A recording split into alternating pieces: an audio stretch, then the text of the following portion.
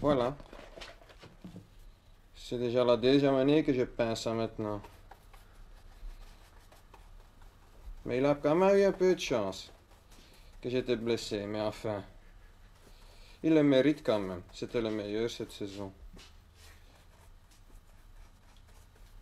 Oui, il y a un trou. C'est un oscillé hollandais. Oui, c'est un oscillé hollandais.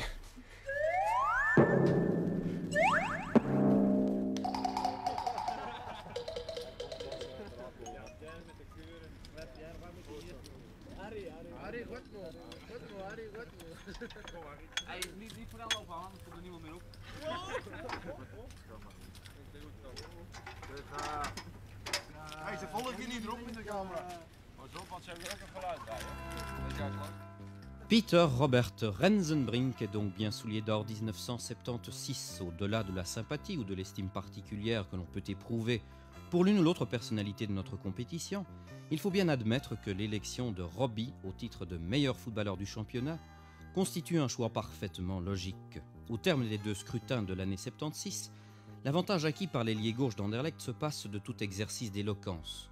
171 points d'avance, excusez donc du peu. Les arguments ne manquent pas pour étayer ce véritable plébiscite. L'Europe tout entière n'a-t-elle pas reconnu le talent exceptionnel de ce véritable félin du ballon? Robbie fêtera son 30e anniversaire le 3 juillet prochain. Et il pourrait paraître étonnant que ces merveilleuses qualités n'aient pas connu de consécration plus précoce. En fait, il aura fallu que ses prestations de Coupe d'Europe et sa contribution au service de l'équipe nationale hollandaise se répercutent aux quatre coins du continent pour que sonne l'heure de son couronnement en Belgique. Né à Oostzaan, dans la banlieue d'Amsterdam, Renzenbrink a toujours affiché la modestie et la discrétion caractéristiques des natifs du cancer. Peut-être sont cela de bonnes raisons dans le football spectacle actuel pour expliquer la patience dont il dut s'armer avant de parvenir en tête du classement du soulier d'or.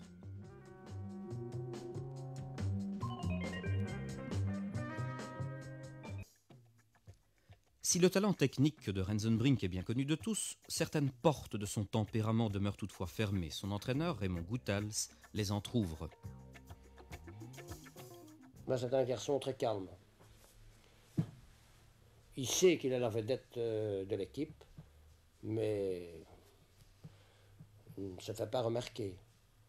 Euh, ses contacts, euh, en principe, que ce soit à l'extérieur et dans le vestiaire, il dit très peu de choses. Vous êtes un passionné, lui apparaît comme un homme extrêmement calme. Comment s'établissent vos rapports? Ben, je dirais qu'on est très complémentaires, pour la bonne raison que euh, il ne dit jamais rien. Euh, bien, bien souvent, il blague euh, sur l'une ou l'autre chose, mais il, est très difficile, il est très facile à manier, Renzenbrink. Le jeu de cartes fait partie des grandes habitudes des footballeurs. Comment se comporte Robin dans cette spécialité-là? Il ne joue pas beaucoup.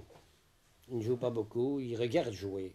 Mais de temps en temps, bon, il s'y met. Alors, naturellement, c'est euh, une partie de cartes avec euh, les, les Hollandais, euh, surtout avec Ressel et avec Hahn. Et en principe, lui est très raisonné et les autres parlent beaucoup plus. Et en principe, il gagne toujours. C'est quand même un peu ennuyé avec ce truc, mais pour lui, ça fait quand même pas de différence. Il joue bien avec eux.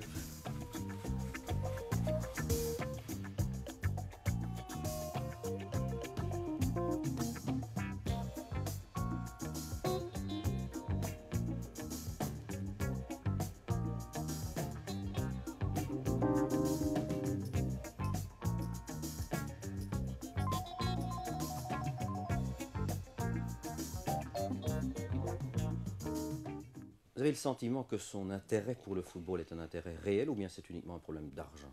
Non, c'est réel. Il aime le football. D'ailleurs, euh, aime les entraînements. Du moment qu'on donne un ballon à Renzenbrink, ben, on est tranquille. Euh, quand il y a du travail euh, physique, par exemple, au bois ou au parc, etc., ben, il y participe euh, comme les autres, mais il aime moins le travail physique. Mais du moment qu'il y a des jeux, alors naturellement, il revit. Il aime le football, mais naturellement, euh, il en fait donc une profession. Il est souvent maltraité, il faut le dire, le dimanche. Est-ce que c'est un garçon douillet? Est-ce qu'il se plaint rapidement Non, il ne se plaint pas. Il ne se plaint jamais. Il est d'ailleurs euh, très rarement blessé. tellement qu'il est agile. Il évite beaucoup les coups. Parce que, pas plus tard encore ici que dimanche passé, ben, si c'était un gars qui ne pourrait pas éviter les coups, euh, il serait très souvent blessé. Parce que ce n'est pas, ce n'est pas un costaud, mais naturellement, moi je dis toujours, euh, quand il a le ballon, c'est une véritable anguille, n'est-ce pas? Et il est très difficile à toucher, euh, bien entendu. Il y en a l'un ou l'autre qui parviennent tout de même à l'avoir, mais en principe, il ne se plaint pas.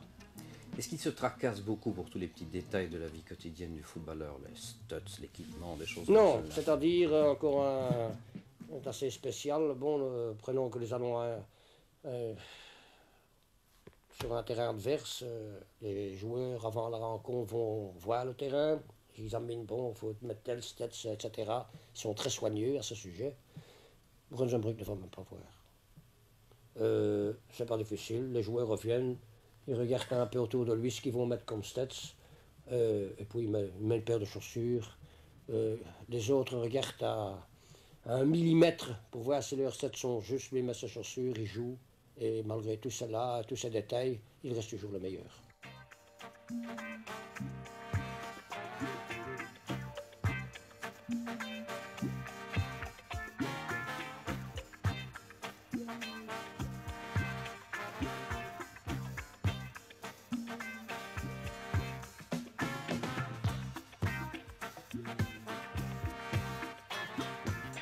Lorsque nous avons théorie, euh, des adversaires contre qui il va jouer, etc., ces adversaires directs, il s'en occupe très très peu, très très peu.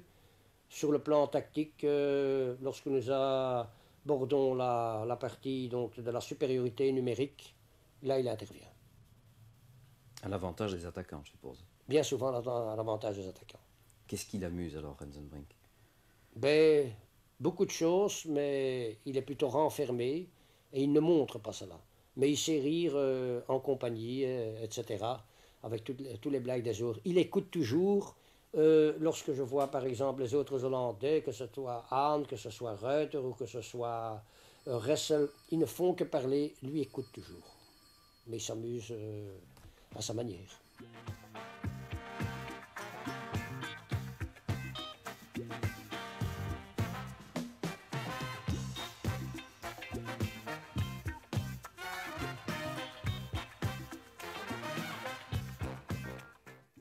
Oui, c'est du vrai aussi. J'espère qu'il va pas le vendre parce que c'est quand même un beau souvenir pour lui.